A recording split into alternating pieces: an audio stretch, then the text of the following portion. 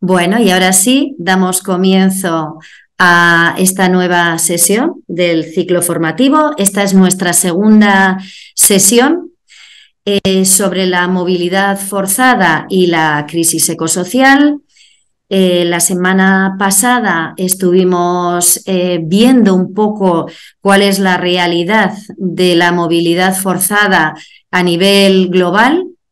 Veíamos que tal como nos hablaron Alberto Ares y también Nacho Eguizábal, nos ayudaron un poco a tener una mirada eh, a lo que es toda, toda, la realidad, ¿no? Y cuál, qué vinculación se ve con, con lo que, eh, con la crisis climática. Entonces, en la sesión del otro día, ¿os acordáis que terminamos hablando, comentando eh, qué nos llevábamos de la sesión? Entonces, ese documento que os he mandado, eh, bueno, pues me, apetecía eh, comenzar quizás contando un poco lo que ahí ha salido, ¿no?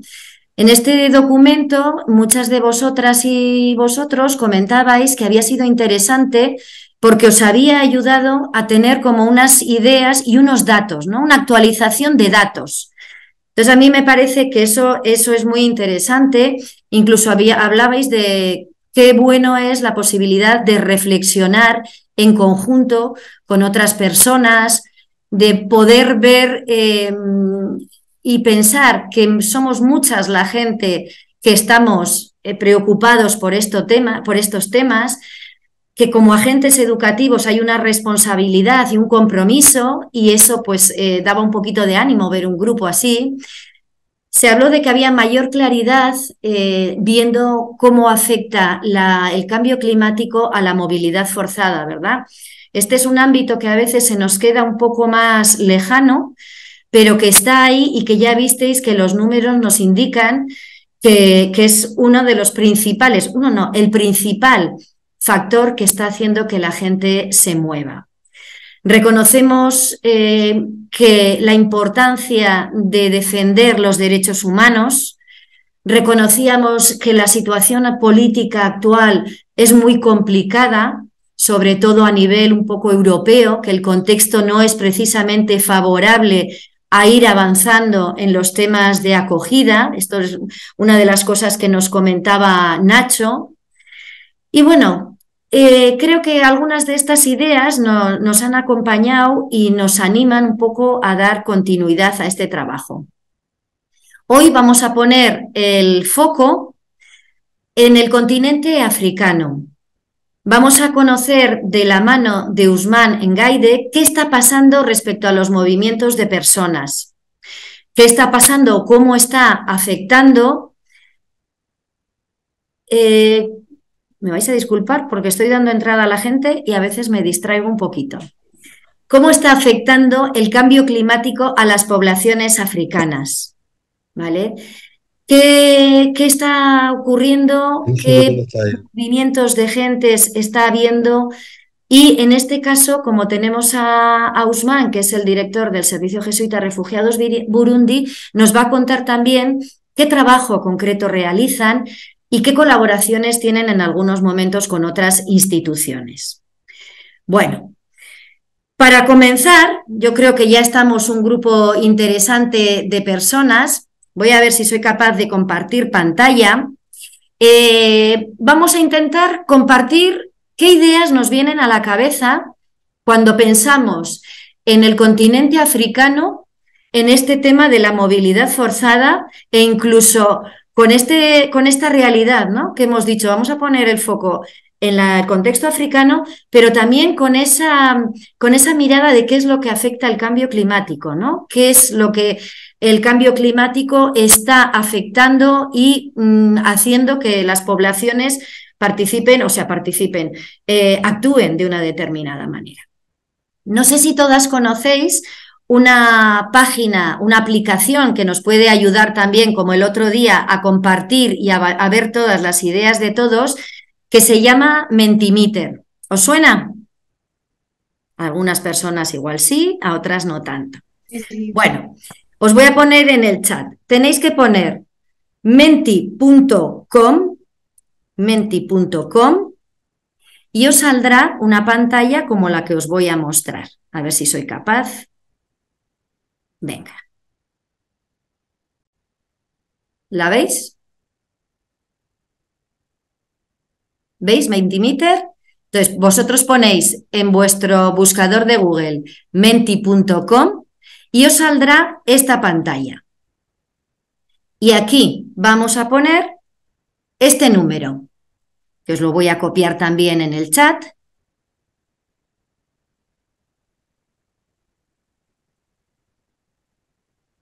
¿Vale? Podéis copiarlo y pegarlo.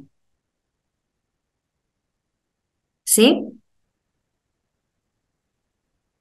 Espero que esté yendo todo súper bien, porque como me cuesta, no os veo.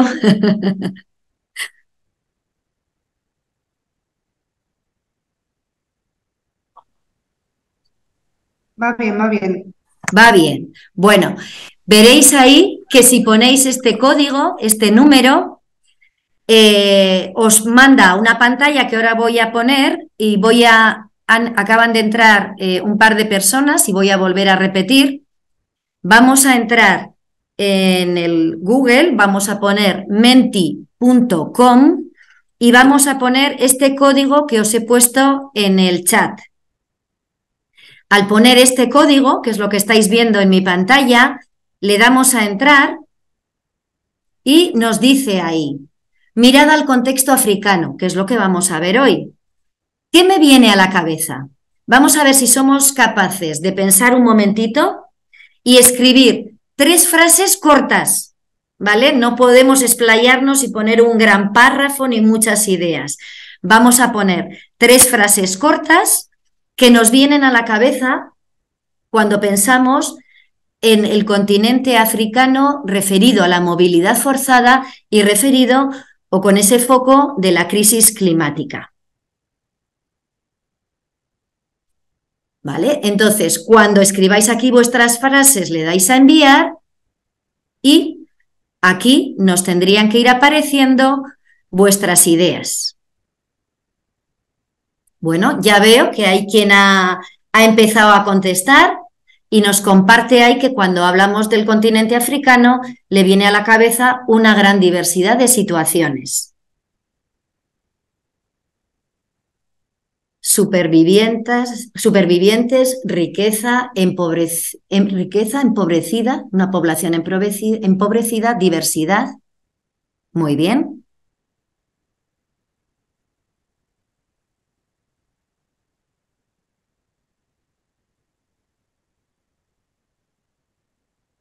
Me entra la duda, si tenéis problemas con la aplicación o es que estáis pensando mucho, ¿qué vais a escribir? Bueno, aquí ya vienen algunas frases más. Bien, grandes sequías, problemas socioeconómicos. Es verdaderamente rico y pobre a la vez. La expansión del Sáhara, petroleras, oro, hambre, desplazamientos, guerras. Muy bien acogida diferentes circunstancias, problemas políticos.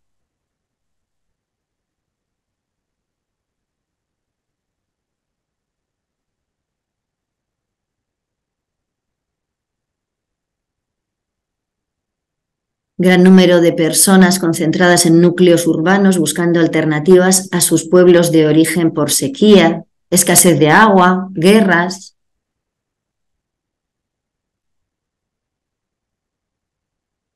Tenemos ya nueve respuestas, pero estamos 27 personas. Espero que nadie tenga problemas. Menti.com, ponemos el código de números que he puesto yo en el chat y eh, tenemos la posibilidad ya de ir escribiendo, hay que darle luego a enviar, ¿verdad? Y ya se va plasmando en esta pantalla común.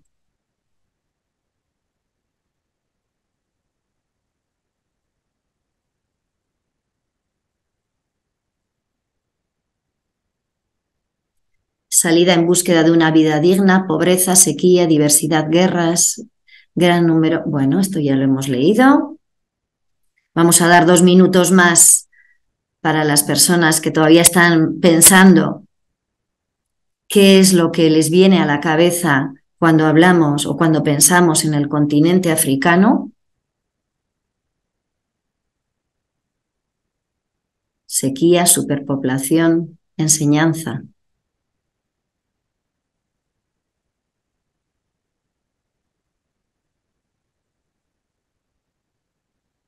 Abundancia de noticias en determinados momentos respecto a la movilidad.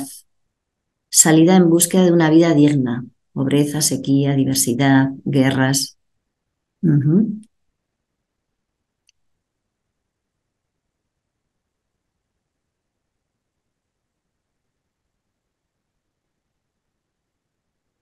Uy, perdió la pantalla, perdón, aquí está. Bueno, no nos vamos a extender mucho más. Esto puede quedar aquí. La maldición de los minerales, efectivamente, se habla también mucho de la maldición de los recursos, ¿verdad? En este, en, e, este contexto. Bueno, eh, queda abierto si alguien quiere añadir algo más. Pero bueno, yo creo que es interesante el que compartamos las ideas por dos cosas. Primero, que nos pongamos un momentito en situación de pensar eh, qué es lo que vamos a escuchar hoy sobre el continente africano, qué ideas previas tengo yo y para que podamos ver unas y otros qué ideas se comparten, ¿vale? Han salido cosas bastante, bastante parecidas. Bueno, en este momento vamos, voy a dar paso ya a Usman. Usman está por aquí entre nosotros. Eh, no le veo en este momento, pero está aquí. Usman eh, Engaide, que no sé si pronuncio bien, habrá que preguntarle cómo se pronuncia su apellido, es de nacionalidad mauritana, tiene 39 años, es eh, titular de un máster de cooperación internacional al desarrollo de la Universidad Pontificia de Comillas en Madrid. Lleva más de 15 años trabajando en el mundo de la cooperación. Eh, estoy viendo la pantalla de alguien, pero lo vamos a quitar, ¿vale? Bueno. ¿Vale? Bueno, yo creo que a veces hay estas cosas técnicas que, estábamos viendo en la pantalla de alguien. Sigo con la presentación de, de Usman. Como decía, es máster en Cooperación Internacional al Desarrollo por la Universidad Pontificia de Madrid. Lleva más de 15 años trabajando en el mundo de la cooperación al desarrollo y la ayuda humanitaria y desde febrero de 2020 es el director país, que es el título que tiene, de la ONG internacional, el, Servicio Jesuita a Refugiados en Burundi y Tanzania. Usman nos va a hacer un acercamiento a esta realidad, al contexto donde él vive, donde él trabaja y que conoce de primera mano y que nos parece súper interesante, ¿no? Que una persona que está allí en terreno viendo esta realidad nos la pueda compartir, incluso dar datos y dar reflexiones. Eh, si en algún momento alguien quisiera hacer alguna pregunta o algo que no entiende, podemos escribir en el chat y luego dejaremos un espacio para poder preguntar y compartir. Y ahora tengo perdido a Usman, pero le doy la palabra Guzmán. Muchas gracias, eh, muchas, muchas gracias, Ani, por la presentación y por invitarme. No sé si se me oye bien. Se te oye bien, se te oye. Muy bien, muchas, muchas, muchísimas gracias por, la, por invitarme y darme esta oportunidad de presentarse a, a, este, eh, a todo el mundo y presentar un poco el contexto en el que estamos trabajando en JRS. Pues no entraré mucho a, a presentar cuál es Corta RS. Bueno, eh, es una organización internacional, como, como has dicho, que trabaja, bueno, que tiene mandato de trabajar, acompañar y servir y, y hacer incidencia para los refugiados en todo el mundo. Y, y, nada, bueno, pues lo que voy a intentar hacer aquí ahora, voy a compartir ahora una pequeña presentación. Lo que voy a intentar hacer es un poco dar un contexto general tema de refugiados, para, la idea es demostrar un poco que el tema de refugiados es un tema mundial y muchas veces también hay unos mm, estereotipos pensando que que a lo mejor que un continente uno es, o otro es el que más ha afectado y, y, luego presentar un poco lo que pasa, lo que pasa en cuál es, dónde estoy trabajando, pues cuál es el contexto de ese país pequeño que se llama Burundi, pero que tiene que estar llenísimo de historia y de, de muchas, de una historia un poco complicada, pero la gente sigue con esperanzas al futuro y, luchando día a día. Bueno, si me dais el permiso, ahora uh, comparto la presentación. Eh,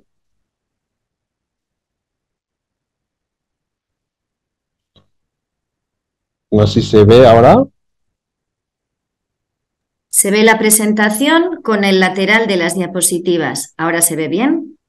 Muy bien. Eh, nada, bueno, antes de todo quería un poco, sé que en las sesiones pasadas ya se había hecho, se había hablado un poco de la, del tema de los, del desplazamiento forzado y en nivel global, pero antes de entrar en así, quería un poco dar también un, un, vistazo rápido al, al, contexto de refugiados en el mundo, porque como estamos hablando de desplazos forzados, bueno, se, y como ya se conocéis, le dice, esos datos se pueden encontrar en la página web de la, de la CNUR. En, ahora se estima mundialmente hay 30, más de 35 mil personas, millones de personas refugiadas en el mundo y la mayoría, la mayoría están en mandato de naciones de, de, de la ACNUR, que son 20, casi 30 millones, y como ya seguís la actualidad, hay una agencia de la de Naciones Unidas solo se ocupa ah, de los refugiados palestinos, que son casi 6 millones de, de refugiados. Y, y hay, hay, una agencia del ONU que se, que se llama UNRWA que se ocupa de ellos. Y también hay otro tema más importante que ahora la CNUR y toda la comunidad internacional y todo el mundo se lo está dando muy importancia son los desplazamientos internos. Los desplazamientos internos que son casi, los, casi el doble de los, de los refugiados en el mundo, son casi 62 millones de personas. Y luego hay eh, 5,4 millones de solicitantes de, de, asilo en el mundo. Y ahí sí que la mayoría están en, en, el, en, el, en el, en el norte. Y, y, también lo que quería, uh, también para ver un poco sobre todo uh, cómo se reparten esos refugiados. 60 por, 76% de los refugiados son acogidos en, en, países de renta baja o intermediaria. Es decir, que los que, imagináis, eh, de, los 30 y pico millones que hemos hablado, la mayoría, 70%, 36% están acogidos en los, en los, países de renta baja e intermediaria, eh, de países pobres. Y 70% de los refugiados son acogidos en los países vecinos, porque cuando pasa algo, cuando hay algo pasa en algún país, pues el, primer reflejo es ir al país más, más cercano, es decir, que es huir al país, el, lugar más, uh, uh, más seguro, más cerca posible. Y, y, eso, y los datos lo, lo, demuestran. Y los países que más reciben refugiados en el mundo, quería también darlo un poco para que, porque muchas veces se, se piensa que en una región u otra que es la que más recibe. Y pues el país que más recibe refugiados ahora en el mundo es Turquía, que tiene casi 3,6 millones de personas y mayoritariamente vienen de, de, de, Siria, después de la crisis del, del Medio Oriente que todo el mundo sabe. Y luego eh, la República Islámica de Irán, que, que, recibe más de, que tiene más de 3,4 millones de, de, de, refugiados. Y luego viene otro país de América Latina, ahí donde eh, eh bueno, los, los, en Irán los que la mayoría son afganos, eh, vienen de Afganistán, eh, de unos países de la Asia, o algunos de, pero la mayoría de Afganistán.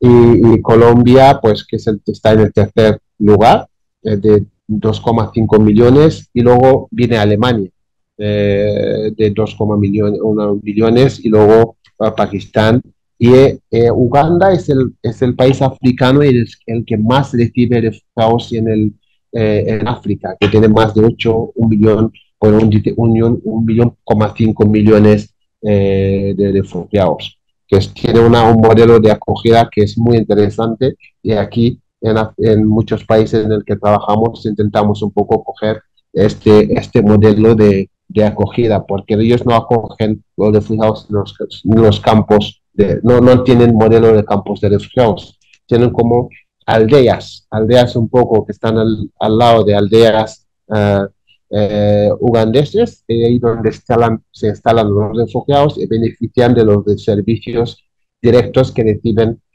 los, uh, lo, lo, la, la, la, población uh, local, la población del país. Y así este modelo bueno, facilita más la, la, la integración de los refugiados en África, en muchos países, eh, en Uganda, pero los demás países, sobre todo en África, eh, los, refugiados tienen están en, unos lugares un poco cerrados que se, llaman, se le llaman campos de refugiados, como ya se conoce la terminología, pues eh, suelen ser un poco más veces, muchas veces aislados y muchas veces también se les mete en, unos, en, las zonas del país donde tienen, tienen menos recursos, eh, tienen menos un poco posibilidades de vida. Y, y también solo también dando un poco a en general, en general, ¿qué, son los continentes que, que, acogen más refugiados en el mundo? Pues son la mayoría, eh, como he dicho, el, África es el continente que, que recibe más, ah, más, ah, refugiados y desplazados internos. Pues se habla de 39 millones de, personas entre refugiados y desplazados eh, internos. Y Asia 34 millones, América Latina 18,8 millones, porque aquí se habla del número general no solo de refugiados, pero refugiados también y desplazados internos. Y, y, y, para esto es general un poco lo que quería uh, dar para muchas veces hay, hay la uh, eh, uh, se piensa siempre que, que, que los bueno, todo el mundo está yendo hacia el norte o hacia algunos lugares. Lo que quería explicar un poco en el contexto antes, que la mayoría de nuestros países eh, de, los refugiados, eh, especialmente en África, pues se mueren, eh, se mueven mucho los países vecinos o los países que son también países que tienen, que tienen mucho, muchas problemas económicas y que han encontrado o vivido, tienen una situación económica muy frágil, mucho paro, muchas dificultades pero bueno, acogen y con el apoyo de la comunidad internacional, de ACNUR y otras agencias, bueno, se intenta un poco dar las, de dar un poco uh, asistencia uh, asistencia, un poco de protección a, esos refugiados. Y así, bueno, este era una entrada para un poco entrar en el país en el que estoy trabajando. Eh, bueno, con Burundi, no sé si conocéis, Burundi está un poco en el, en el, en el en, el en África del Este, en el sur, sur, sureste de África, es un pequeñísimo país, como ya podéis ver, pero con muchísima población. Es decir, que por Burundi, eh, con una superficie de 27 mil kilómetros cuadrados, tiene 12 millones, casi 13 millones de habitantes. Y, la actividad económica más importante es la agricultura. Y bueno, y el nivel de pobreza pues el índice de IDH es de 0,4, que, que, se sitúa en el rango 1187 sobre eh, de, 191 país. Pues, pues ya imaginaros eh, qué situación de la que vive este país pequeño y la renta per, cápita uh, es 312 dólares al año por habitante. Pues imaginaos, eh, la renta per cápita más grande es de, uh, yo creo que es el de Luxemburgo, que es casi 100, 111 mil dólares al año, y, y, Burundi está casi en, la, pues, en, la, en, el país que tiene, solo está encima del Sur Sudán, que es 243 dólares al año por, por cápita. Bueno, estos las, son, los datos macro que os pueden un poco dar la, eh, la fragilidad en el que vive este país pequeño de África. Y Burundi, bueno, esto no lo, ahora saldrá un poco la, la, el mapa para un poco situar dónde está Burundi, pero es un país pequeñísimo. Y, y, si la situación política, bueno, nos creo que a muchas veces eh, muchos de vosotros habéis oído hablar un poco de la de, de, lo que pasaba en los en la zona de Grandes Lagos y sobre todo Ruanda, la crisis de Ruanda y la, el genocidio de Ruanda. Bueno, es que Burundi y Ruanda eh, en el pasado eh, se formaban un solo país que se llamaba Ruanda-Urundi.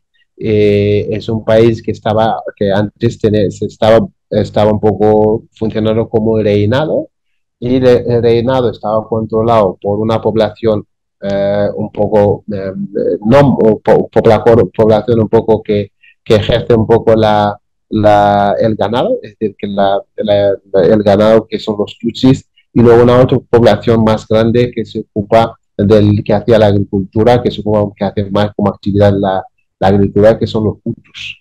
Y, y, esto, bueno, había unos, entre ellos, bueno, eh, unos, uh, uh, a veces, bueno, se, se convivían, convivían eh, cada uno según su sector, había pequeños conflictos, de, sobre todo de, del acceso, a, como es un, una zona muy pequeña de acceso a la tierra o acceso a las zonas de, ¿cómo se llama?, para, para el ganado y, y, la agricultura, bueno, esto, pero nunca ha llegado a unos conflictos un poco más, más, uh, más, más, fuertes.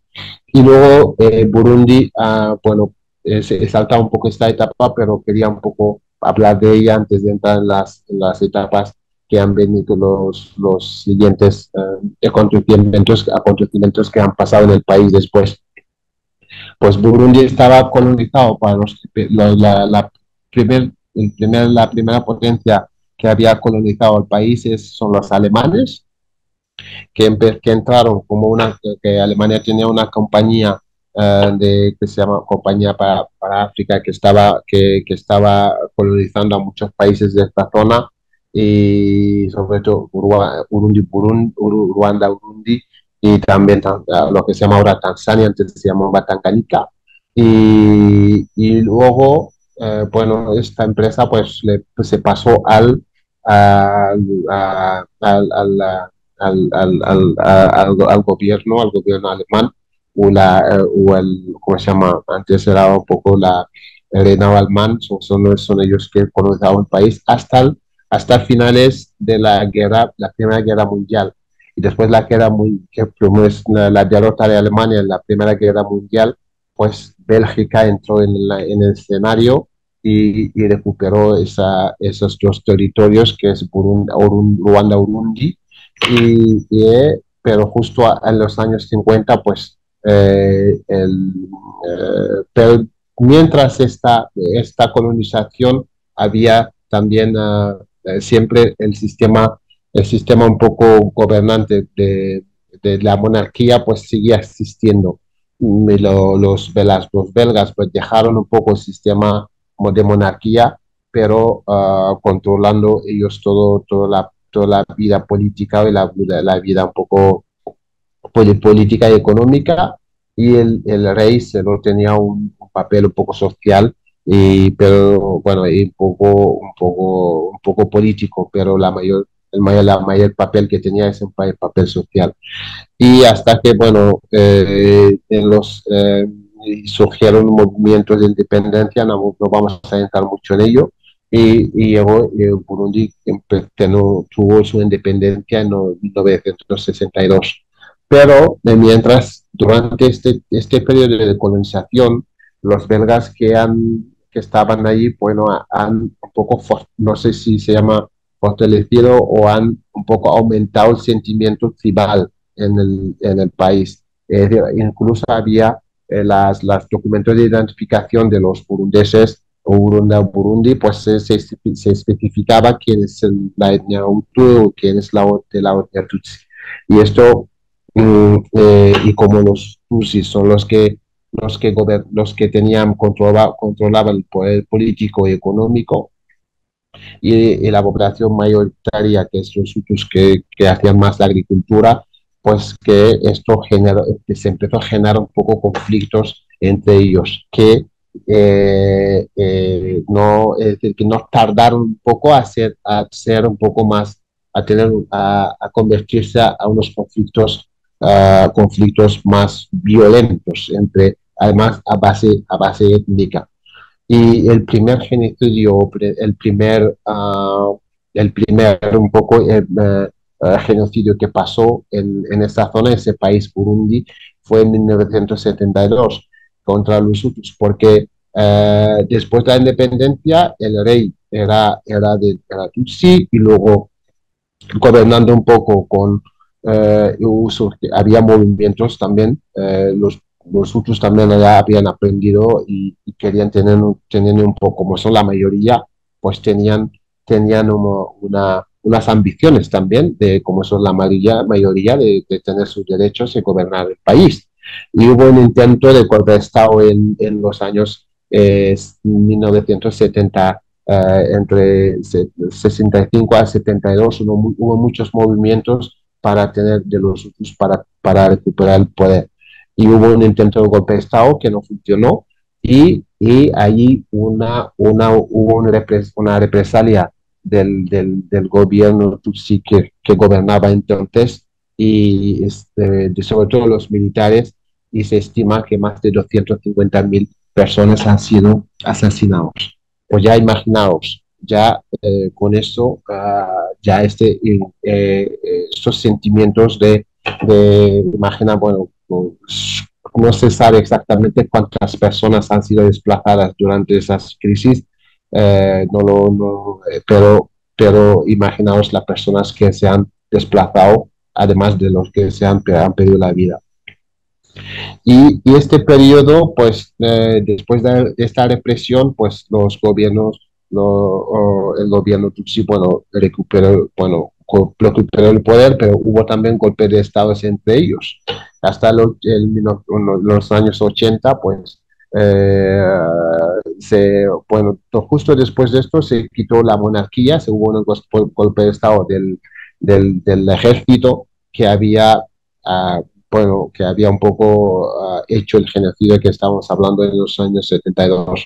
Y, y, y luego, bueno, en los, en los años 90, como pasó en muchos países de África, se pidió a, muchos países de hacer la democracia.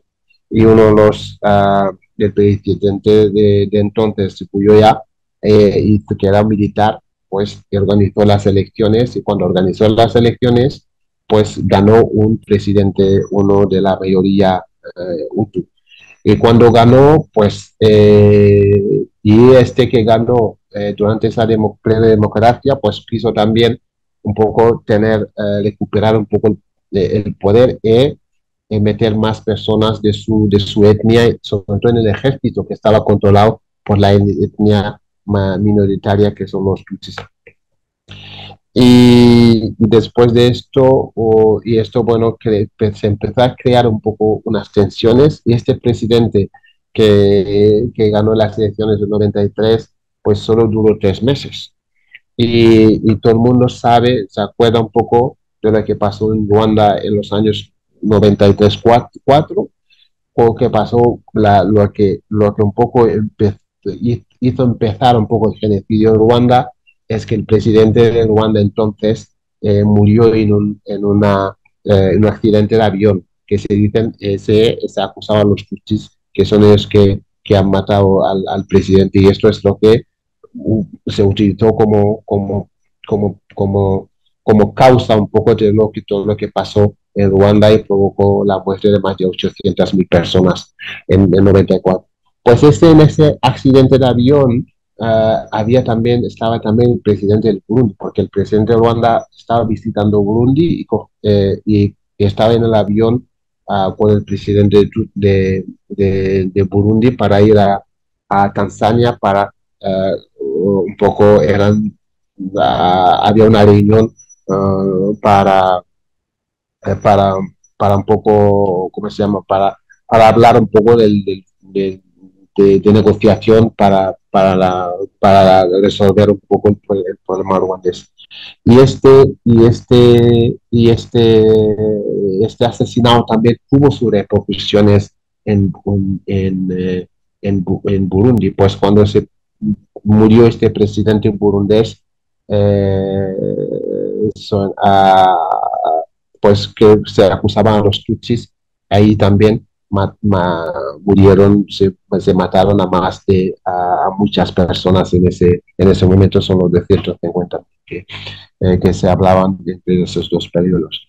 Y, y luego, después de esto, pues eh, hubo una rebelión entre la, de la mayoría Hutu que, que salió del, porque los Tutsis hicieron un golpe de Estado, recuperaron el poder y esto provocó una rebelión de entre el 1993 hasta 2005, la rebelión Hutu, eh, a las afueras del, que estaban un poco ah, atacando desde Tanzania o desde, desde el Congo, con, con, teniendo las bases en Tanzania y Congo eh, y, atacando un poco el gobierno central que estaba controlado por los Tutsis. Y durante ese periodo se estima que más de 300.000 personas han sido asesinadas durante ese periodo, eso con de, violencia también entre, en, esa época. Y hasta 2000, 2000, 2003, cuando se hizo, se empezaron las, las ah, el presidente de entonces, eh, eh, que eh, como Puyoya, que había recuperado el poder en los años 90, pues empezó a, a, a hacer la, ¿cómo se llama? Empezó un poco a hacer, a, a, querer un poco pasar, porque la rebelión hacía mucho daño al ejército, había mucha violencia, mucha gente se moría, se hacía asesinado, atacaban a escuelas, a, muchas veces a pueblos y se quemaba todo el mundo y se mataba a todo el mundo, una inseguridad impresionante en ese periodo, pues em, empezaron las negociaciones en lucha en Tanzania, el, el, el, país que un poco que, que hacía un poco de, de, de que, que, que, un poco que animaba o que apoyaba en las, esas negociaciones era eh, África del Sur, Nelson Mandela y se firmaron los acuerdos que se llaman los acuerdos de Arusha en 2003. Arusha, que es una ciudad en Tanzania, con la, la como, he dicho, es con el apoyo de, de Nelson Mandela. Y después de estas, estas, estos acuerdos, bueno, los, uh, hubo una, un periodo de transición de dos años hasta 2015, 2005, y se organizaron unas elecciones y ganaron eh, el principal grupo rebelde que estaba, que, que es los Hutus, bueno, que el, el Hutu de la mayoría y desde, desde, entonces son ellos que gobernan el país. Y, los Tutsis casi perdieron todo, todo, el poder porque son una minoría, pero se, se, estableció en esos acuerdos una forma de compartir, de cómo compartir el poder entre los dos, las dos grandes etnias, con unas cuotas en la administración, en el ejército, en muchos puestos políticos. y, y, ahí se, se, esperaba que el país va, ya, ya se ha terminado la crisis y que se ha empezado, que no, hay, eh, no habrá más crisis, porque ya la mayoría está gobernando, hubo unas elecciones y hubo una, eh, unas elecciones y que todo el mundo, que todo esto, va a ir bien.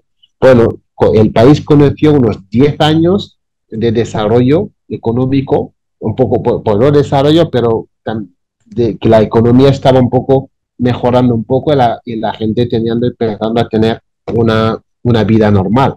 Hasta hubo en, el, por, eh, en la constitución que se había votado en los acuerdos de Arucha en 2005, establecían que el presidente no puede tener más de dos mandatos. Y lo que pasa aquí, bueno, el presidente entonces, eh, eh, tuvo, después de hacer dos mandatos de cinco años, bueno, de 2005 a 2010 y luego 2010 a 2015. Pero lo que pasó es que el, presidente intentó tener un, otro un tercer eh, mandato eh, y esto uh, provocó unas violencias, bueno, una reacción de la población, la mucha gente salieron por las calles, por las calles eh, y, hubo una represión muy grande.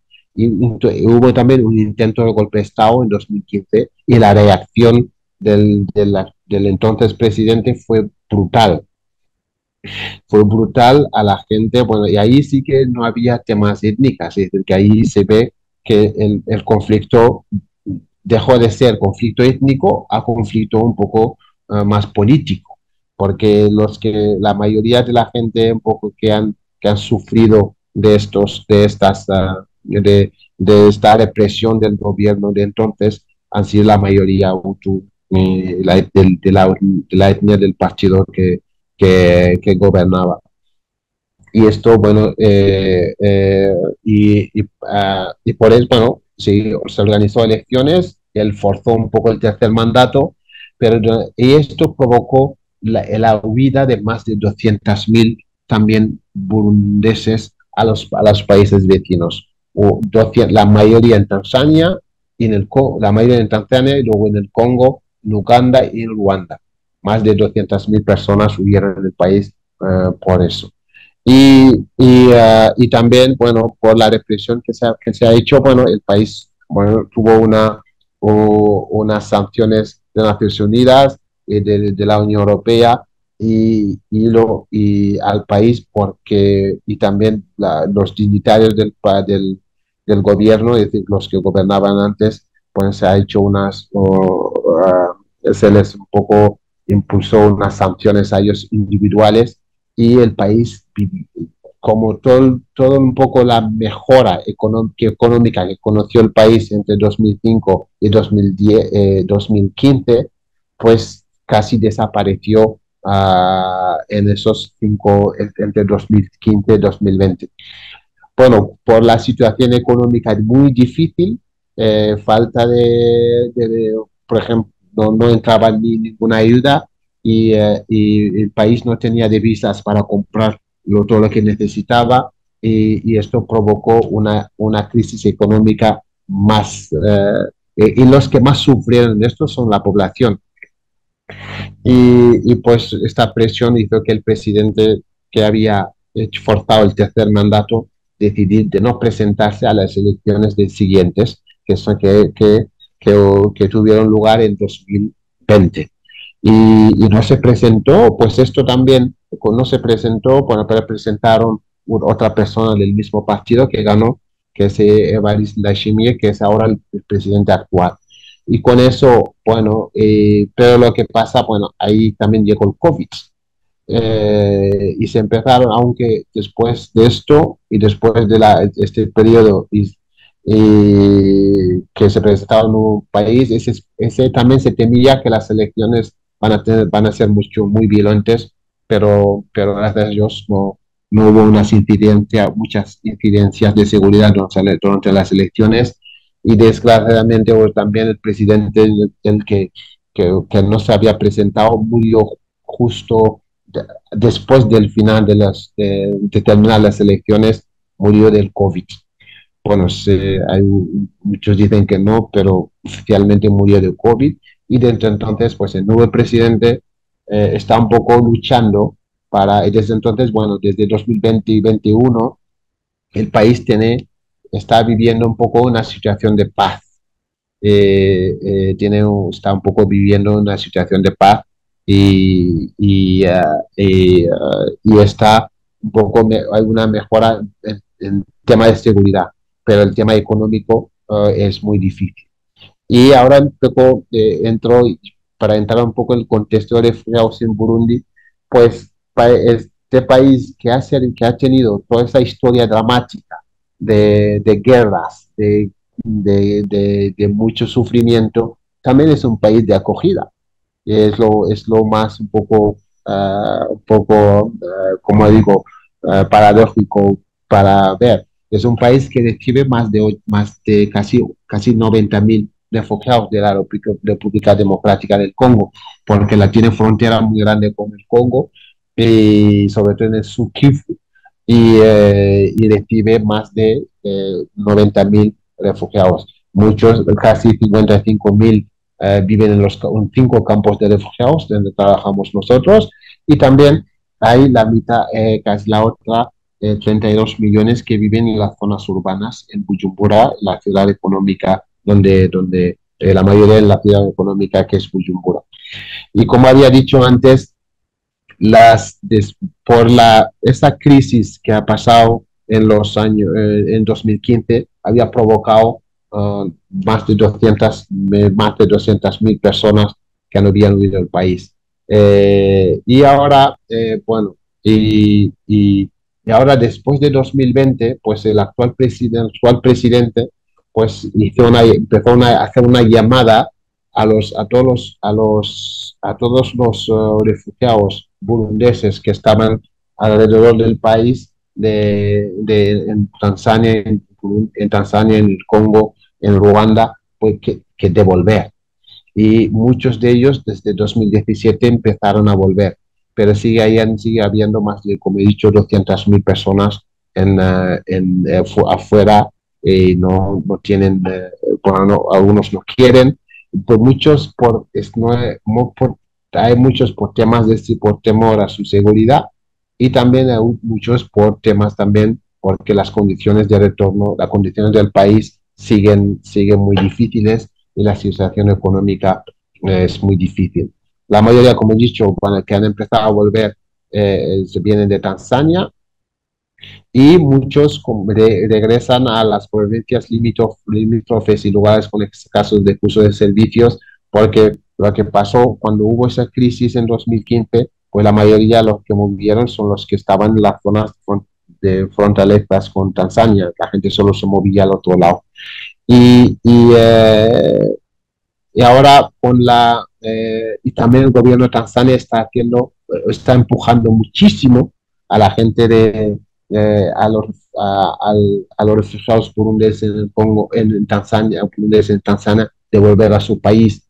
Y, para esto están, por ejemplo, han prohibido todo tipo de actividad económica en los campos de refugiados, no hay mercado en los campos de refugiados, no está permitido vender nada ni hacer ninguna actividad económica.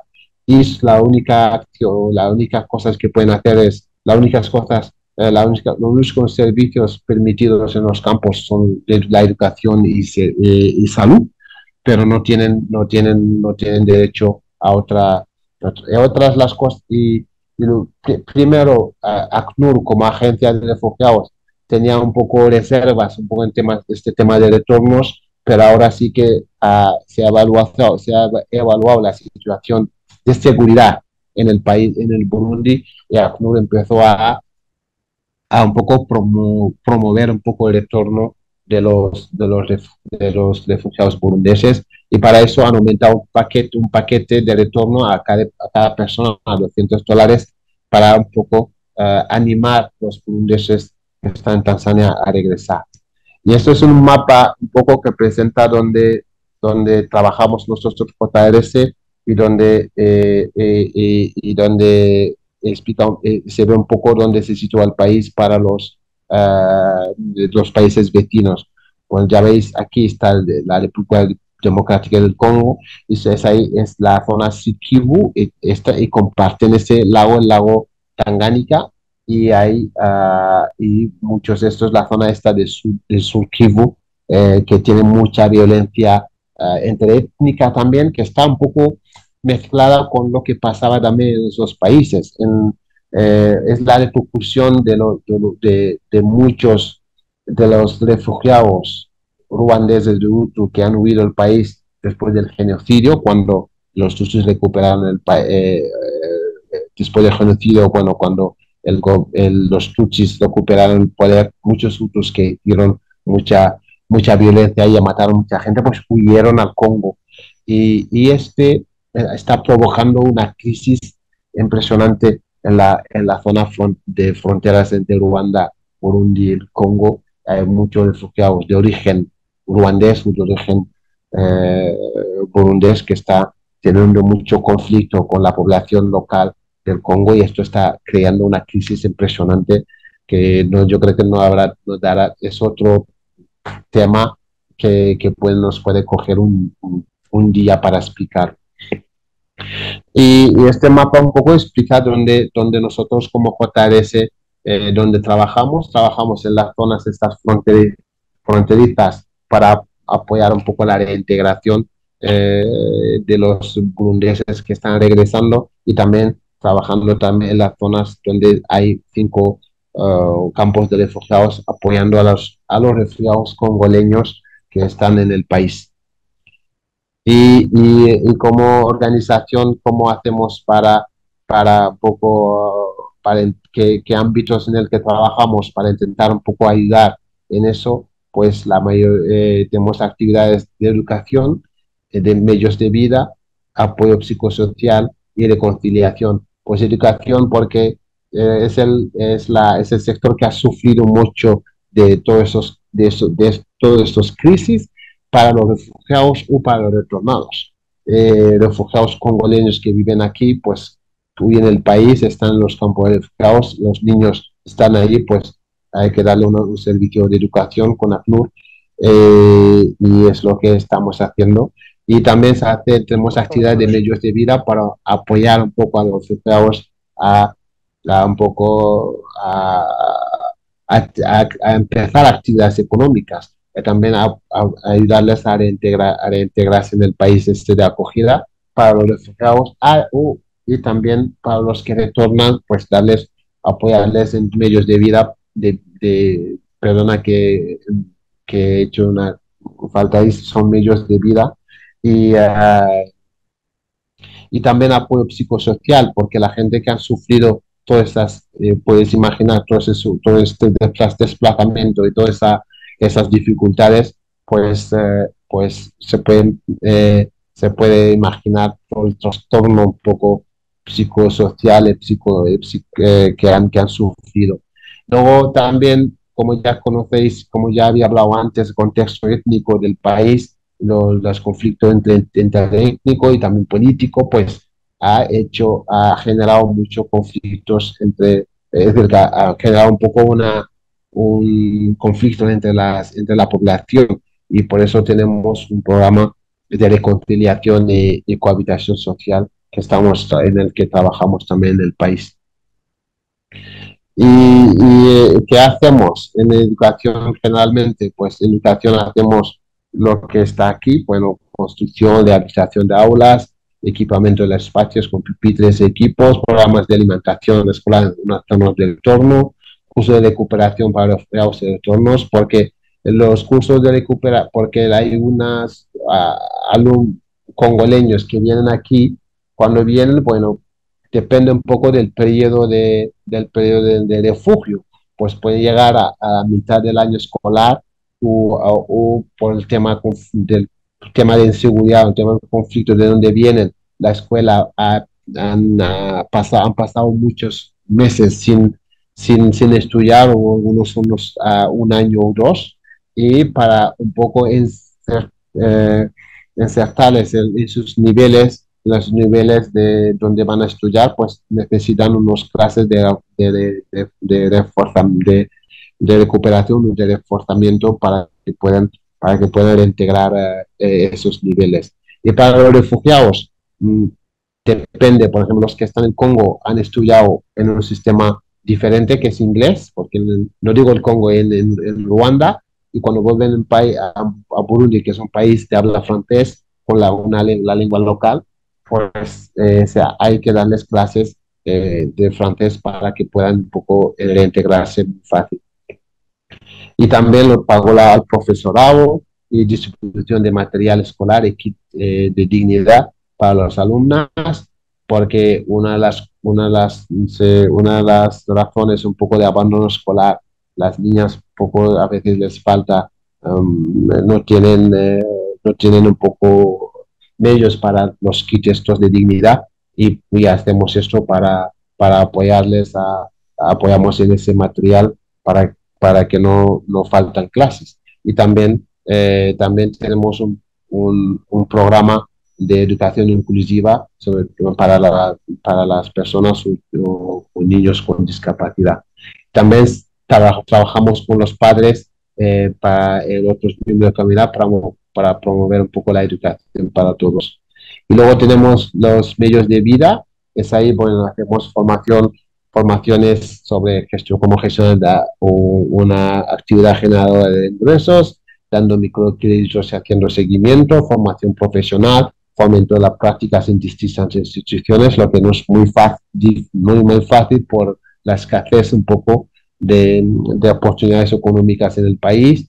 Eh, para hacer, hacer esos, esos proyectos también de medios de vida, pues hacemos estudios de mercado para un poco proponer actividades que puede corresponder un poco a la, a la, a la, al, al, mercado y información agrícola y promoción agricultura resistente al cambio climático mediante la disposición de equipos eh, de semillas.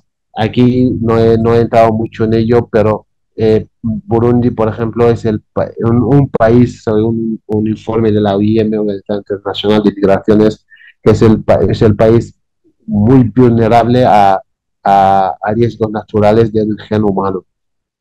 Por ejemplo, entre 2019 y 2020, Burundi registró casi 116 desastres naturales, imaginaros, en un año. Y, y, uh, también hacemos, como he dicho, apoyo, apoyo, apoyo, psicosocial, grupos de escucha, acompañamiento para mujeres vulnerables que sufren de casos de violación sexual y de género. Este programa just, uh, uh, lo hacemos con el apoyo de Alboan y tenemos un programa que hacemos con esto, apoyo de Alboan, sobre todo para los, refugiados eh, que vienen del Congo, porque la crisis una de las armas, del, las armas un poco desgraciadamente en el Congo que, se usan es la, la, las violaciones. Y las violaciones y, y, esto bueno causa unos daños psicológicos enormes. Y por eso hemos empezado hace casi eh, tres años, cuatro años un programa de, de, de, acompañamiento a las mujeres vulnerables y también víctimas de violencia eh, sexual y de género. Y también hacemos otras actividades recreativas, también refuerzos los clubes, sobre todo de clubes jóvenes en las escuelas, sobre todo de niñas y niños, para, para, para promover un poco esto. Y luego también hacemos la reconciliación, bueno, eh, en la escuela y también eh, en la comunidad, no solamente para los refugiados congoleños, pero también la población burundesa.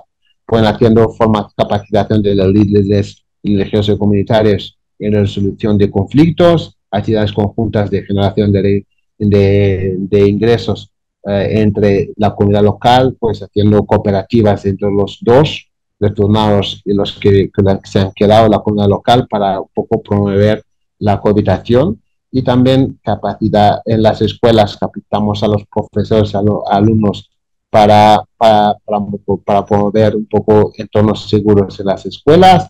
Hacemos también actividades de creación de equipos para el personal, reuniones y también como ya eh, esto es para porque el personal en el que trabajamos son burundeses y están afectados como, como población y como personas que están viviendo en el país, seguro, bueno, están afectados también, han vivido estas crisis y no podemos trabajar en este ámbito, en la reconciliación, si, nos, si nuestro equipo en sí mismo está un poco, bueno, sigue eh, afectado un poco con, eh, con, con, lo que pasa en su entorno. Por eso también en esa parte de reconciliación se trabaja también con el personal.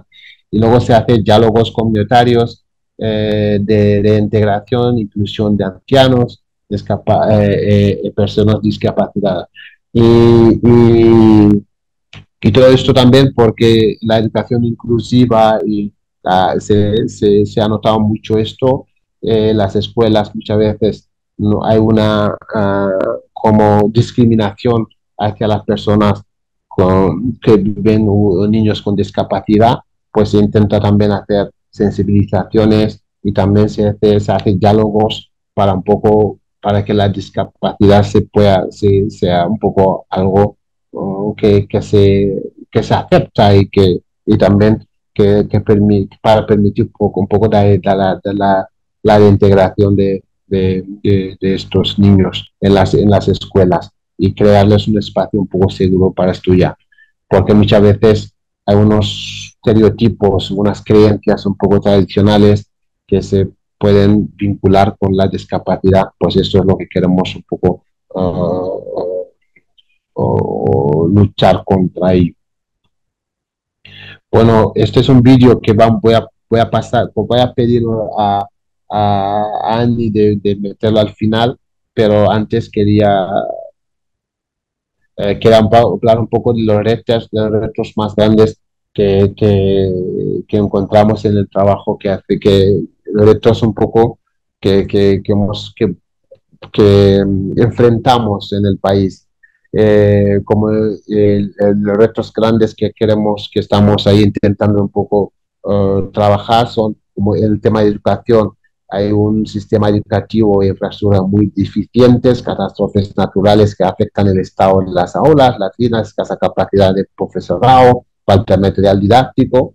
Son cosas eh, que, porque el país, en Burundi, Burundi es un país que llueve nueve meses. Es decir, la, la periodo de lluvia empieza en septiembre hasta mayo. Y eh, imaginaros, con, con, por ejemplo, el, el corte de árboles y, y con, uh, por, por, falta de otros medios para, para cocinar, pues esto afecta mucho las tierras y provoca unos desplazamientos ¿cómo se llama así? Desplazamientos de tierra y, hace que eh, afecta muchísimo a la población. Esto afecta la, la agricultura, pues están mm, afecta mucho también, digo, como he dicho, la agricultura por el desplazamiento de, de, de tierras. Eh, también desafíos, también, como he dicho, en la, el tema de educación, de la integración de, las, de los retornados en las escuelas en las que trabajamos eh, y en los campamentos y, porque se le retira un poco unos niveles eh, y lo que suele provocar muchos abandonos. Y también gran necesidad de actividades de subsistencia económica, como he dicho, en las zonas de retorno, el país con todo lo que ha sufrido, bueno, la economía está casi a, cero. Y, eh, y, con crisis, crisis son unos, unos, crisis impresionantes. De, por ejemplo, ahora no hay, no hay, no hay gasolina solo que no hay. Es decir, que para, muchas veces viene un mes y luego dos semanas no existe y esto afecta mucho la movilidad, afecta el transporte de, de, alimentos entre las ciudades y también, eh, y como esto por causa, porque el país no tiene divisas para, para exportar y, por el, porque, el, porque la producción un poco en el país no permite eh, un poco responder a todo y esto hace que las zonas, las zonas de retorno sobre las zonas interiores del país vive, mm, en una situación económica muy difícil. Y ya, bueno, hablando un poco del impacto del cambio climático, es muy grande, sobre todo la agricultura, que es la ocupación de más del 90% de la mayoría de la población y no, no tiene recursos para agricultura resistente al cambio climático. Y tensiones sociales, entre tornados y residentes, ya que son los, cursos son, son muy escasos, como ya habíamos hablado antes, y falta de capital, eh, falta de capital de la comunidad local para crear empresas, como he dicho, con el, la historia que pasó el país, bueno, esto hace que el país vive una situación económica muy difícil, con también una fractura social muy grande, y, y, y, un, ¿cómo se llama? Un, un, un, una falta de, un poco de, confianza en el futuro y, se entiende mucho, muy bien los que, los que no quieren retornar. Pues si se lee un poco la historia del país, eh, cada vez que, que, haya un periodo de paz, un poco se piensa que ahora las cosas van a, ver, van a estar muy bien, y que la situación va, se va a calmar, que se pueden empezar oportunidades económicas o hacer cosas o, construir una vida, pues sale otra crisis. Es incluso hasta ahora, eh, después de estas elecciones, hay unas elecciones en 2025 y hay, un, hay un, una lucha entre, entre los que gobiernan ahora, lucha de poder impresionante entre los que gobiernan ahora y esto uh, lo que hace que la, el riesgo de, de, otra, de, otro, de otra crisis de seguridad es muy alto. Bueno, sigue, el sistema es muy frágil, como he dicho, la, la situación económica muy difícil, la, la pobreza muy alta, la, la renta bajísima y, eh, y, todo esto, bueno, es como una bomba de, de, que puede explotar en cualquier momento. Pues se entiende un poco las que lo, por eso los que están fuera no quieren regresar. Y aunque el presidente actual, el gobierno actual está haciendo mucho esfuerzo, sobre todo en temas de seguridad, desde 2020, antes cuando yo llegué aquí en 2020 se oía cada día un cadáver, un cadáver encontrado por ahí, un cadáver encontrado por allá, pero desde 2020 esto no, ya no, no habla, no se oye esto. Y también, eh, eh, bueno, el tema de seguridad un poco, un poco mucho mejor. Se puede caminar ir en todo el país sin ningún riesgo de seguridad y, y se espera si se apoya un poco a la economía del país, el, el, el país se puede estabilizar un poco y, y, tener una vida normal.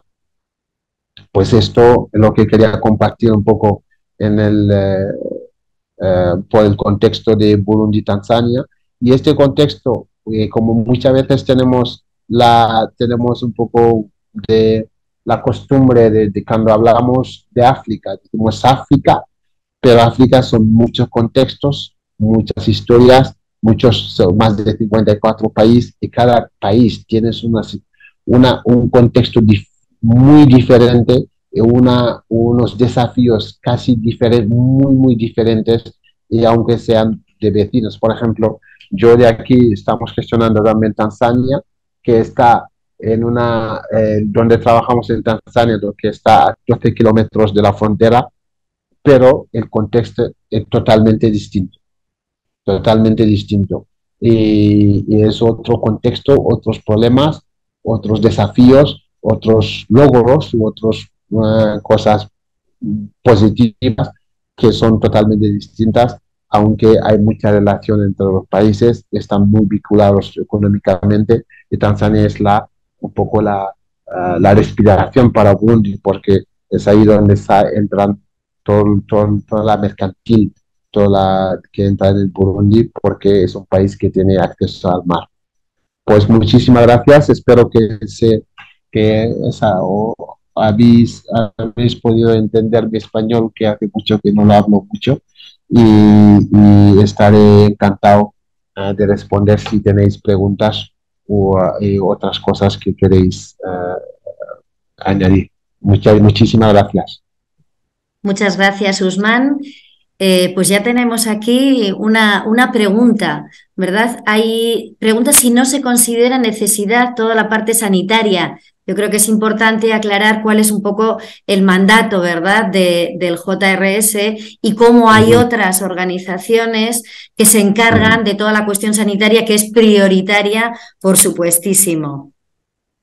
Sí, sí, sí. Bueno, esto eh, lo, que ha, lo que ha dicho es que JRS lo que, lo que nosotros nos focalizamos más en educación, como ya creo que sabéis mucho los jesuitas, pues la, la, la educación es la mayor actividad que tenemos y luego hacemos, como he dicho, medios de vida y, esto. Eh, eh, hay otros, otros, otras agencias y otros eh, partners que trabajan en tema de salud, pero la, pero colaboramos todos juntos en ello, sobre todo la sanidad de las, las escuelas, también la, sí que, y también, por ejemplo, las, el acompañamiento a las víctimas de violencia de género, pues muchas veces ahí colaboramos con, con, uh, con agencias, ONGs o, o, o, incluso entidades gubernamentales para, para para un poco dar acceso a,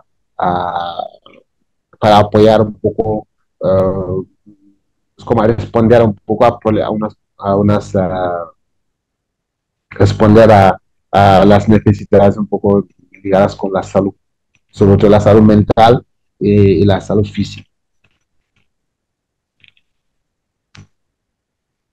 Bueno, he puesto en el chat, ¿verdad? Si hay alguna persona que quiere hacer alguna pregunta o alguna aclaración o algún comentario, bien lo podéis escribir en el chat o podéis abrir el micro y, y lanzar vuestra, vuestra pregunta o comentario o lo que corresponda.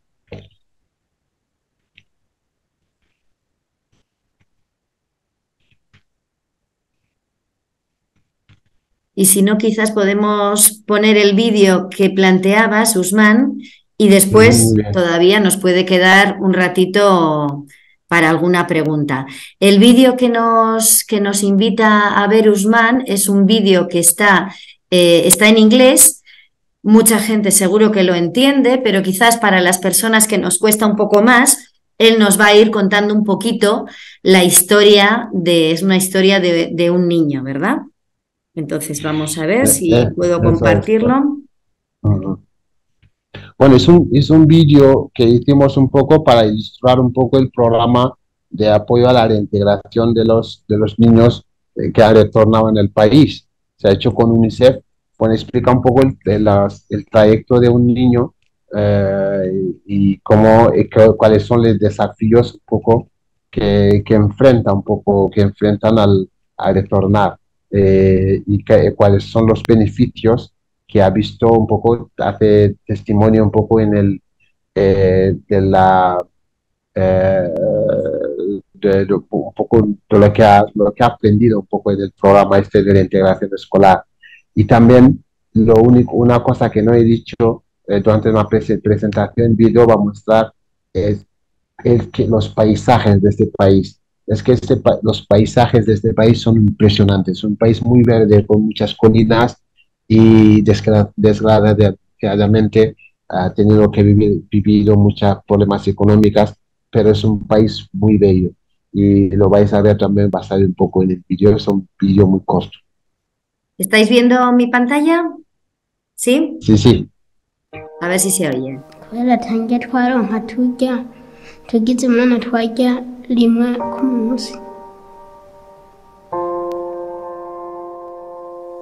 Estaba contando un poco su historia de huida. niho papa yagiye yiyumvira ngo tugende tanzaniya turagenda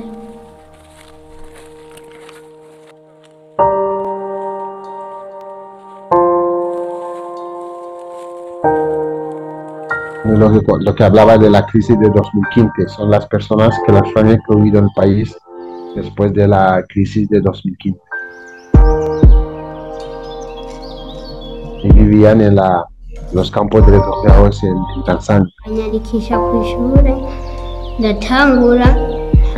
poco del.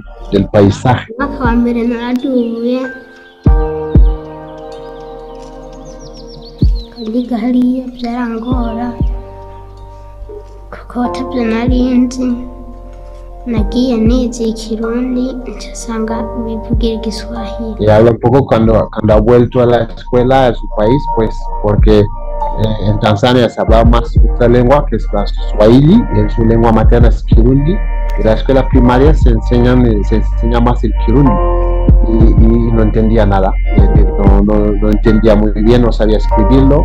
Y, y por eso se organizaron estas clases de, de apoyo eh, escolar y dando también material escolar y esto bueno para facilitar un poco la reintegración en, las escuelas.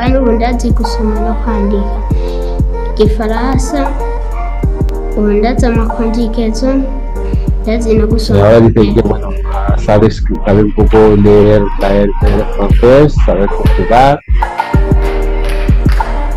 en este proyecto le hemos hecho una zona eh, que es el Wiki, que es frontera, frontera con Tanzania, y, eh, eh, pudimos intentar más de apoyar la integración de la escuela de más de 5.000 niños.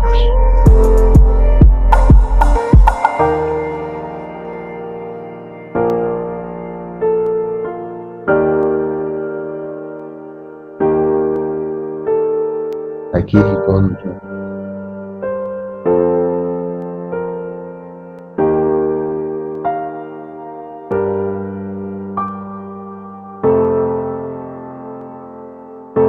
Sí, he visto un poco el comentario de María. Bueno, es que es impresionante, la, impresionante la, el número de gente que han sufrido de esos conflictos en esta zona de Grandes Lagos. Se habla mucho de Ruanda, pero no se habla de mucho de, Burundi, del, del, Congo, se conoce un poco, pero la violencia es impresionante. La gente que está, eh, pues imaginar, eh, está a vivir un poco en esas circunstancias. Eh, eh, no tener ningún, ningún, ninguna esperanza tampoco en el futuro y no tener ningún, solo una, ni tener un momento de paz o, incluso planificar tu futuro. pues la, eh, pues la, muchas veces la única solución que hay es huir, ir al sitio más seguro posible. Y mucha gente, muchas veces estas personas lo que piden es solo tener, vivir una vida normal, eh, tener una esperanza en el futuro, educar a sus niños, llevarlos a la escuela, tener una casa, eh, y es lo mínimo que, que están que están diciendo. Y por eso, por ejemplo, JRS nos focalizamos en la educación y luego siempre decimos que a veces, que dicen las familias, es la única cosa que tenemos eh, como inversión en el futuro, porque cuando huyes eh, de tu país has perdido todo y tu casa, tu, tu, tu, plan para el futuro y lo único que, que te queda que la, esperar que tu hijo va a tener la posibilidad de ir a la escuela y tener un futuro. Para ti, para mucha gente, o para, para, mucha gente que había, que con, el, que lo, con, con las que he hablado, dicen para mí ya no ya he pasado los 50 o los 40 y pico y 50 y, y ya no, no, sé que no podré no tendré tiempo para para para para un poco empezar una nueva vida la única inversión que voy a tener es invertir en la educación de mi hijo esperando que va a tener más suerte que yo. una cuestión que habíamos hablado por acabar un poco como con una mirada un poco más optimista, ¿no? Es eh, todos estos proyectos y estas propuestas que se están trabajando, que estáis trabajando JR junto a INADES, también otras organizaciones de, de allí de la zona, para intentar eh, ¿no? como que le llamaban de, resiliencia al cambio climático, es decir, intentar solventar los problemas que el cambio climático está generando para que estas poblaciones no tengan que huir por falta de recursos económicos. Si nos puedes contar un poquito ahí qué estáis haciendo, qué proyectos o qué propuestas, ¿no? Para intentar, y también, ¿no? Eso que la gente que retorne tenga algo, posibilidades de salir adelante. Eso es. Bueno, ahí sí, como has, como has dicho, es que ya había explicado antes, es un país, pues Burundi es un país muy vulnerable a poco a los riesgos naturales de origen humano. ¿ah? Y porque el coste de los árboles ha, dañado un poco las tierras y ha dañado un poco la sostenibilidad de las, de las tierras y cuando eh, con las muchas lluvias que hace, pues hace que, bueno, se, mucho, mucho, mucho eh, muchos desplazamientos de tierras porque lo que daña los cultivos. Uno. Y dos, también porque ya, como había dicho antes, el país es muy pequeño, son 27 mil kilómetros cuadrados para 12 millones de personas. Pues imaginaros la, la, la, la eh, un poco con poca tierra para mucha gente. Y lo que hace, lo que hace que los, los, y luego cuando plantan un poco la agricultura, pues no genera mucho, porque el espacio es un pequeño, pues necesita, necesitan un poco unos fertilizantes eh, para, que, para aumentar la producción. Pero lo que pasa es que los fertilizantes químicos lo que hacen es más dañar la, la tierra que, aumentar, aumentar la producción, aunque a, lo mejor pueden aumentar un momento, pero el daño, el daño a las tierras, el impacto, eh, clima, el impacto un poco eh, después va a ser eh, va a ser muy difícil. Y con INADES y con muchas organizaciones, pues estamos intentando promover un poco una agricultura resistente al cambio climático y también eh, favoreciendo un poco fertilizantes un poco naturales. Y, con INADES y con el apoyo de Alboa el gobierno, el gobierno de la, del, gobierno, del gobierno vasco, también de los ayuntamientos de la provincia eh, del gobierno vasco, pues eh, tenemos ahora un gran proyecto de dos, de dos años para fomentar un poco la agricultura, eh, la agricultura que, que, que, que, resiste un poco al, cambio climático.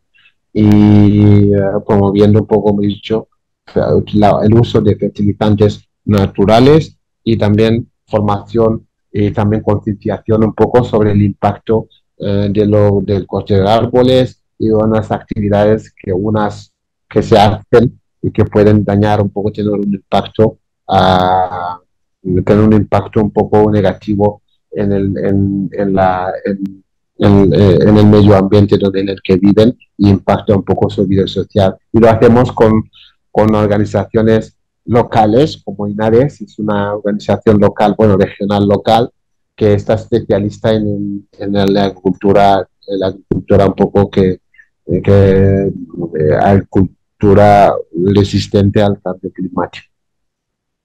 Pues muchas gracias, Usman. Ya se nos va, se nos ha acabado el tiempo podríamos seguir hablando y seguro que nos salen más inquietudes y preguntas y dudas, pero como vamos a tener la suerte de contar contigo por aquí en el mes de febrero, os animamos y os invitamos por adelantado a que nos podamos encontrar con Usman. Os pasaremos la información de dónde nos vamos a encontrar. Y pues muchísimas gracias. Os he puesto en el chat de la reunión un link a un documento, algo parecido como hicimos el otro día, por, por cerrar, ¿vale? Por pide autorización, perdón, a ver cómo consigo hacerlo. Eh, restringido, cualquier persona con el enlace hecho. Intentar ahora, por favor. Siempre hay algo que se escapa. a ver si ahora podéis. Bueno, y recordaros que la semana, no, la semana que viene, el jueves que viene, jueves 30 de noviembre, a las cinco y media, tendremos la tercera y última sesión de este ciclo que ha querido darnos una visión muy amplia, muy rápida de la realidad de la movilidad forzada a nivel general, un poco más centrada en el contexto africano. Y el próximo día lo que vamos a ver es qué ocurre con el, tema de la acogida, ¿verdad? Muchas veces hemos comentado con distintas personas, ¿no? Países de acogida, ojalá que realmente fuéramos países de, de, acogida, cuando se habla el país de origen y el país de acogida. Creo que nos falta bastante para generar realmente esos países de acogida. Y Doña Oneca nos va a hablar un poco de este contexto europeo, las políticas migratorias y cuál es la realidad en Navarra, la ley en las leyes en España, qué facilidades, qué dificultades hay para las personas que están en nuestro entorno. Creemos que conocer un poquito más nos puede ayudar a entender muchas cosas. Eh, pues eh, muchas gracias, Usman, una vez más. Muchas gracias a todas las personas que habéis estado en esta sesión. Ojalá que os haya ayudado a intentar entender mejor. No se puede escribir en el documento, me cachis. Bueno, pues no sé qué es lo que estará pasando. Vale. Compartir. Aquí estoy, compartir. A ver si ya vais pudiendo. Esto es tema de permisos que no lo he hecho. Ah, ya sé por qué. Ahora A ver si podéis ahora. ¿No? Ay, Dios mío.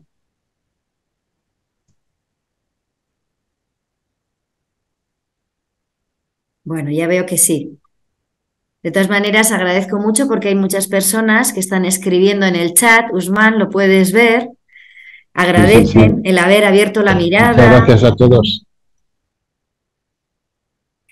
Pues ya cuando cuando podáis y hayáis escrito, si queréis ya, os podéis ir desconectando. Usman, mil gracias.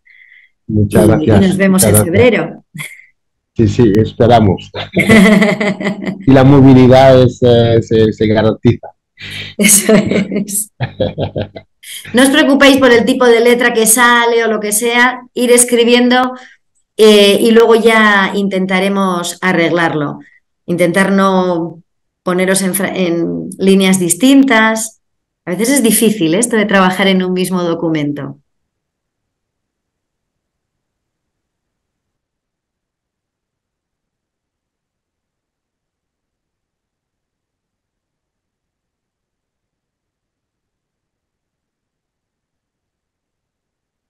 ¿Hay alguien que le sigue sin dejar poder escribir? Vamos a ver. Yo creo que ahora tenéis todos permiso de edición, es decir, que podéis escribir.